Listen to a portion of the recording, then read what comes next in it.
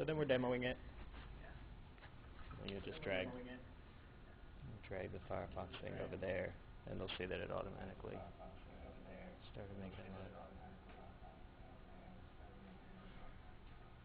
it. Recursion.